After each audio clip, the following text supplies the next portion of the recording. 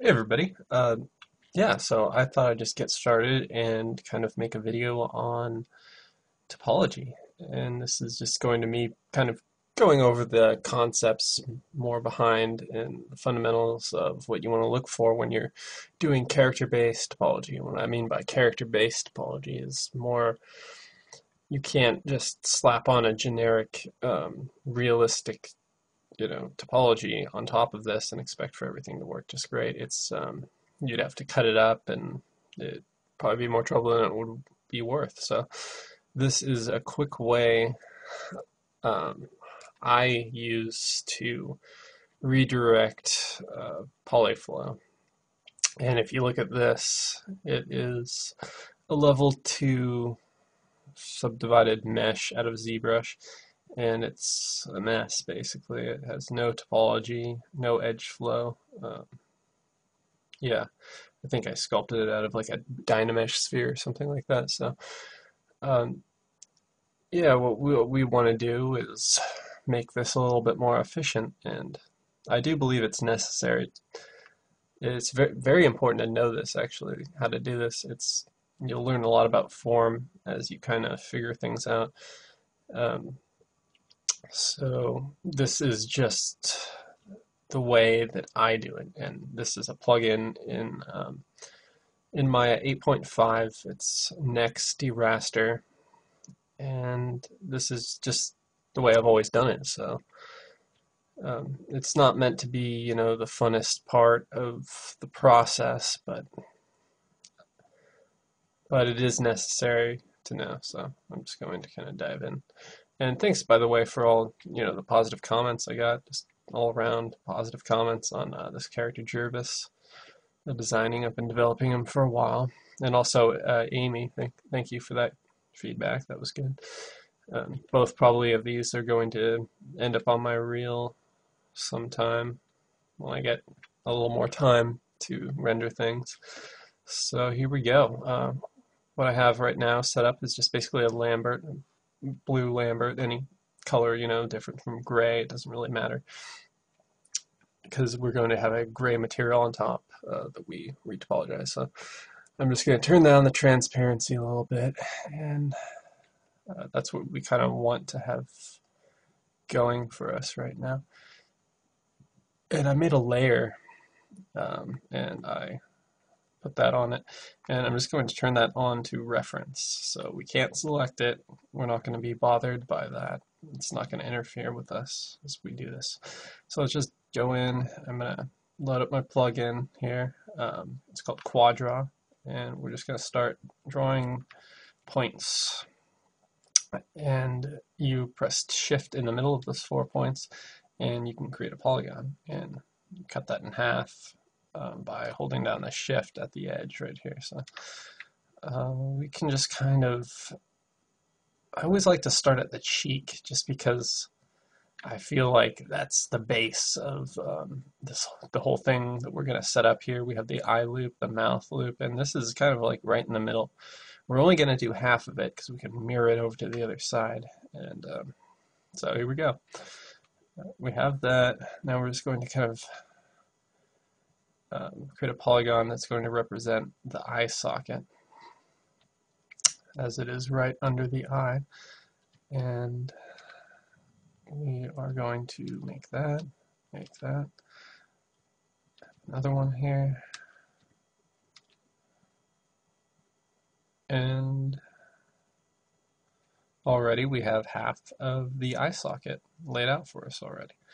And keep going further with this.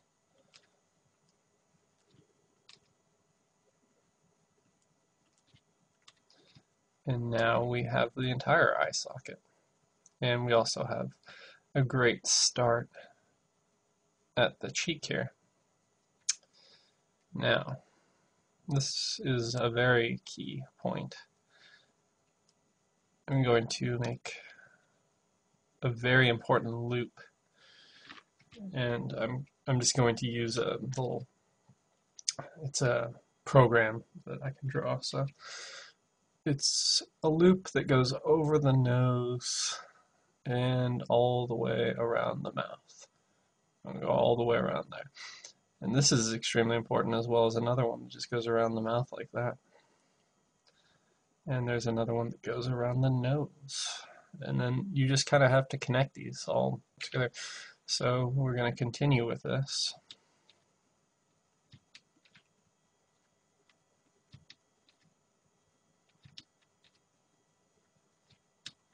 There we go.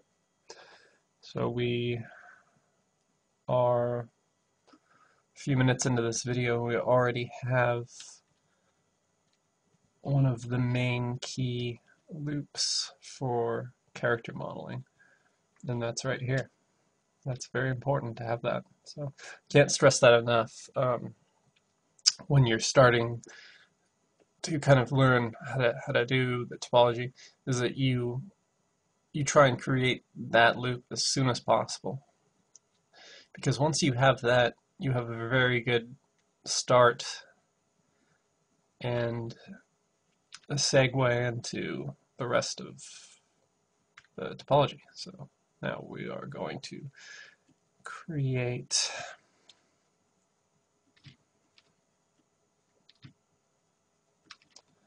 another loop Alright, this is kind of finicky, and sometimes you just have to move move things around very close until you can get them to cooperate with the way you want them to. And there's another very important loop there. So we've got the mouth, we've got this one, and we have the eye socket. Now, I'm going to get the nostril loop in there, which is very important too. And the reason why on the nose I I really like to to start the loop on the under part of the nose is because the design is built that way where it's actually flat underneath the nose. So yeah, anytime you can you know get your topology to work around your design, that's um, you know definitely take advantage of that. So you can already see we have we have a very good base on how to how to how to set this up. So this is not a very um, this is not everyone's favorite part, as I've said, and it definitely takes a while to get good at this. Um, there were certain points that I struggled with when I first was learning topology, and part of it was this nose area and kind of the, the mouth and the lips area, and how that kind of plays out. So, but I'm not going to go over. I'm not going to do all the topology in this video. I'm going to do that in a time-lapse video, so it's not going to be just me commenting on this this whole process. That would be very boring. Uh, but I did think it was important for me to say a little bit about what I know about this. So let's see. Um, the ear, very similar principles that we would do here. First of all, I would create um, a structure that goes around there, and then I'd build inward. Um, that, that's how I'd handle that. So Let's see. Oh yeah, something that's important is you want to have a lot of kind of narrow edge loops towards the uh, corners of the eye. So that's pretty important. And then we can just build um, some close edge loops to make a nice um, sharp eyelid that we'll want. And uh, I'm going to keep going just a little further and then I'm going to cut this short just because I wanted to give you just a basic understanding of how this is going to going to work here. So once you have every loop in, let's see, come on. Once you have every loop in, you can start to think about there's obviously going to be a loop that goes around the entire face that houses all the loops in, inside and let's see how is that going to look uh, we're not going to do it like that um, let's see well, you kind of actually have to just build it up as you go. So we have the eye socket in. And we're going to next create the, the brow, which is also very important. One, two, three, four, five. Little five pole there. You're always going to have a five pole. You just have to know exactly where the best possible place is to put it and as I've said, it's it's usually where there's a um, prominent landmark or a change of uh, um, a change of a major form change, which is um, right below the cheekbone. You can see that just silhouetted right here. That that's a huge major form change on this this character, so that makes sense for me to put it there. And when you get further along, you can finally just connect these. Uh, once you get kind of confident about the flow going in, I'm just going to add the subdivision right here. But the main thing to keep in mind when you're doing this is always think um, in terms of halves. Like you can always add geometry in between the halves so you kind of have to understand how Maya smooths things in a way, actually. It's just, um, you know, dividing, basically. Come on. Might have to move that a little bit. There we go. A little buggy. Sorry about that. Um, and I'm going to use this as to represent the just the, the lips here. I always like to find a nice little outpost for the vertices and I'm always very comfortable with putting them right on the, uh, the lip right there so it just becomes sort of a habit. So anything you know that you can find like that that works for you, definitely, definitely do that. Okay, so you can kind of see how you might finish this off now. Um, obviously, I'm not going to go into this entire thing. That would be that'd be mental.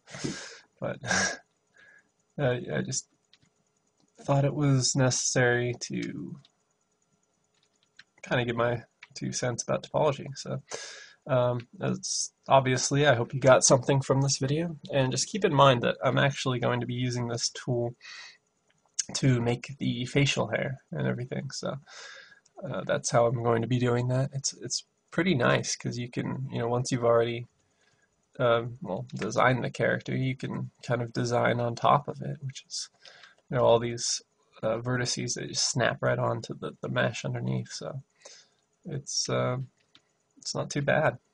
Um, I really like using this tool, and hopefully you guys um, will get something from it from watching me do this. And I think I'm about to finish. You, you see how that would continue. You just go down from the jaw.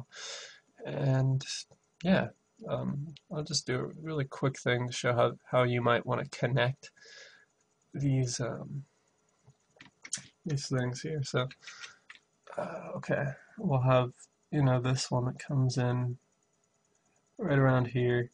And you have a loop that'll go around here. Um, everything will sort of flow into, you know, the all the loops will flow into the mouth or the nose or the ears. Um, but yeah, like like I was saying, this this part is kind of tricky because like right right around in here, just finding the um, the correct star to to get that going is it's not super hard, but it it takes some time to to get that right. Uh, yeah, and of course you'd have a lot of close edges right around this um, the uh, the eye line there. So just something to think about. Uh, yeah, I hope hope you guys have gotten something from this video, and maybe I'll make some more in the future. Just going on certain things. And yeah, so thanks for watching.